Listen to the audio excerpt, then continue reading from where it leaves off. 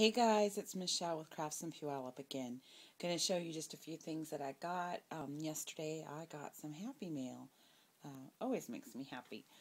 Um, oh, first thing I got, I'll show you this really quick, was another Cuttlebug folder, and this is the Happy Birthday. So it's got Happy Birthday every which way, sideways. So that was, um, I don't remember, that was $3, I think is what I paid. So they were on sale this week at mm, Joann's, and they didn't have this one, so I was happy because I knew it was coming in the mail. Um, I'll show you the punches real quick. I got this Martha Stewart um, all over the page punch. Yesterday I had to go to Ross for, to pick up an item and I thought I told my husband, "Let me go check the punches real quick," and he's just laughing because he knows. But um, four ninety nine, so that was super cheap. And I was showing him the regular price on that.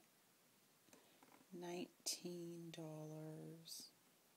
I paid five, and they only had two of those, so I picked up the one.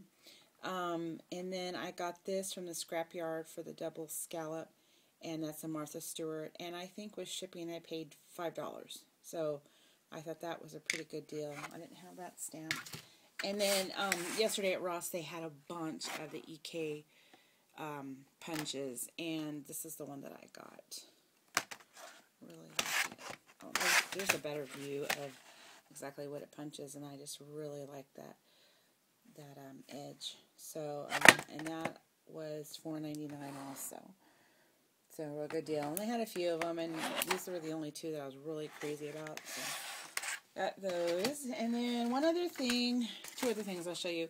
Um, I got these in the scrapyard also, and they're Cuttlebug Embossing Plus. So um, they cut and emboss. And so this one is called Lace Door.